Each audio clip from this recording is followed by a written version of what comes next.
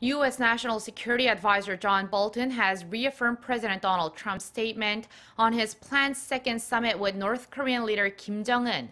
Speaking on a local radio show on Friday, Bolton said he thinks the summit will take place, quote, sometime in the next couple of months.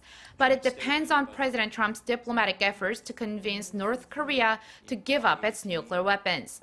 Bolton said the regime should denuclearize completely and irreversibly, and if they can do that, the future could be very different for the North Korean people.